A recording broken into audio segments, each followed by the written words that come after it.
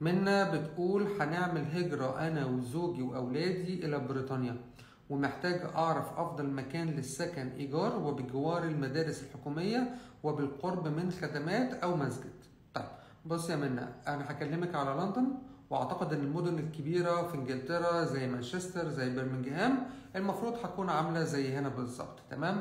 بالنسبة لأحياء لندن كل حي هيبقى أكيد فيه مدارس هيبقى أكيد فيه خدمات وهيبقى فيه community center خدمات اللي هو مثلا حاجة زي مثلا clinics أو مستشفيات أو حاجات زي كده أهو اسمه بوليس آه الحاجات اللي هي الطبيعية جدا. كل حي من أحياء لندن فيه الكلام ده تمام؟ لكن لندن فيها أحياء كويسة جدا وفيها أحياء متوسطة وفيها أحياء يعني أقل من المتوسطة تمام؟ لو أنت عاوزة تسكني جنب العرب يعني يكون مثلا حواليك مصريين عرب أحسن مكان هيبقى أكتون إيست أكتون وحاجة أو حي اسمه هارو. الأحياء دي متواجد فيها العرب بكثره اللي هي بتعتبر في الشمال الغربي شوية من لندن. تمام؟ لو عاوزة تسكني في حي في مثلا مسلمين كتير والكلام ده سلاو اللي هو في غرب لندن برضو مليان مسلمين كتير وهتشوفي باكستان وهنود في كل حتة.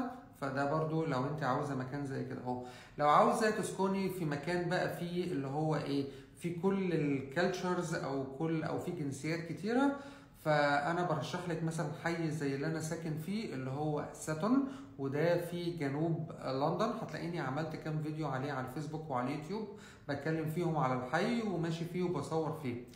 الحي اللي أنا ساكن فيه من الأحياء كويسة جدا في لندن وأنا بصراحة ب recommend أي حد يجي لندن يسكن فيه. السكن هيبقى غالي سنة مش هقول غالي قوي غالي سنة بسيطة. لو أنت هتسكني في عمارة زي اللي أنا ساكن فيها لكن لكن لو هتسكني في هاوس هو السعر الطبيعي. الميزة هنا إن إحنا عندنا مساجد عندنا كذا مسجد منهم مسجد ساتون المركزي اللي هو على بعد بالظبط دقيقتين أو ثلاثة مني آه هنا في آه هي هنا فاميلي أكتر يعني عائلية أكتر. لما هتمشي في الشارع هتلاقي آه زوج وزوجته أطفال أطفال ماشيين في الشارع. أنا في رأيي إن الدنيا هنا أمان مقارنة بأحياء كتيرة جوه لندن. يعني أنا رأيي الشخصي بعد سنة وثمان شهور من معيشتي جوه ساتون إن ساتون من امن الأحياء اللي موجودة في لندن إنك أنت ممكن تمشي براحتك الساعة 9 بالليل و10 بالليل. أنا طبعا بس أنا راجل فبتمشى لوحدي مثلا الساعة 11 أو 12 أو 1 الصبح ما عنديش أي مشكلة خالص. ساعات ببقى راجع من المطار مثلا لو مسافر سفرية برجع الساعة 1 أو 2 بالليل. الأتوبيس بيوقفني بتمشى لغاية بيتي. الدنيا أمان جدا هنا أهو.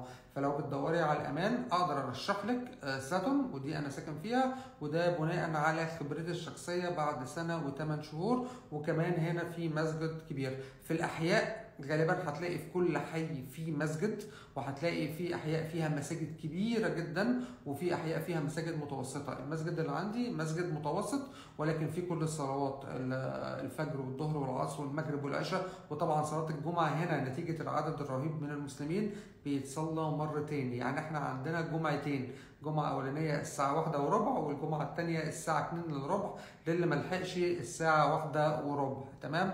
المدارس الحكومية هنا في ساتون برضو كويسة وبسمع إنها مستواها عالي. سلاو برضو المدارس الحكومية فيها كويس نتيجة إن ليا واحد صاحبي ساكن فيها أكتون المدارس الحكومية هتلاقي فيها عرب كتير. فدي اللي أنا رأيي الشخصي. الميزة هنا ساتون عن أي حاجة تانية إن فيها حياة إن هي قريبة من جاتويك بالمناسبة مطار جاتويك. يعني لو هتاخد أوبر من هنا لمطار جاتويك هتلاقي نفسك دافعة من 30 ل 35 جنيه استرليني وده رقم رخيص جدا وبتك... وبالظبط المسافة نص ساعة. لو هتروحي بالقطر مثلا فهياخد منك حوالي 40 دقيقة. لو هتروحي مطار هيثرو في هنا Superloop اللي هو بيروح مطار هيثرو بعد ما يعدي على أربع محطات ده أتوبيس. الحياة هنا حلوة الصراحة وفي هنا جنبها كارشلتون وجنبها كام حي برضو من الأحياء الراقية. الميزة كمان في أحياء لندن والحي اللي أنا ساكن فيه إن الخضار هنا رهيب جدا. اتفرجي على فيديوهاتي من من الشقة اللي أنا عايش فيها هتلاقي كمية الخضار الموجودة.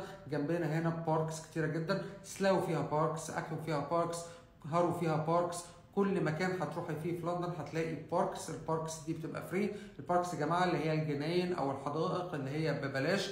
كمية مساحة خضراء رهيبة. الأطفال ممكن يلعبوا ينبسطوا يلعبوا كورة فيها ألعاب للأطفال الصغيرين. وبالتالي مش هتحس بأي مشكلة خالص إن الأطفال يلاقوا مكان ينبسطوا فيه ويغيروا جو فيه ويرتاحوا فيه.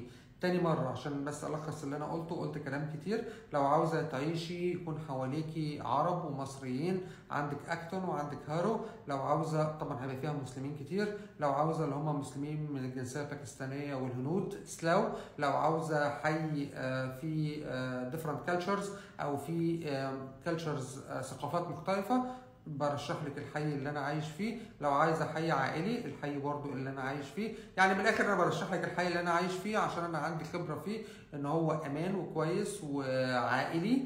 دوري عليه. اسمه ساتون. هتلاقيه في جنوب آه لندن. اكتبي كده ادخلي على جوجل مابس واكتبي S U T T O N هتلاقيه موجود. ده برشحه وادخلي شوفي فيديوهاتي على الفيسبوك واليوتيوب. وهنا التيك توك هتلاقيني مصور كتير قوي من ساتون أنا بصور من هنا كتير جدا بتمشى رايح الجامع بتمشى في ال park اللي قدامي أو أي حاجة اتفرجي عليه عشان تاخدي فكرة أكتر عن الحي آه، اللي أنا عايش فيه ده. وبس كده أهو. ولو في أي سؤال اسأليني وأنا إن شاء الله هرد عليكي. ولو في أي سؤال آه، في كمان آه، صاحبي وصديقي العزيز أحمد عطية باشمهندس أحمد عطية أحمد ان يو كي آه، هو متزوج وعنده أولاده. لو عايزة تسأليهم أي سؤال اسألي وأحمد هيجاوب إن شاء الله برضه. وبس كده.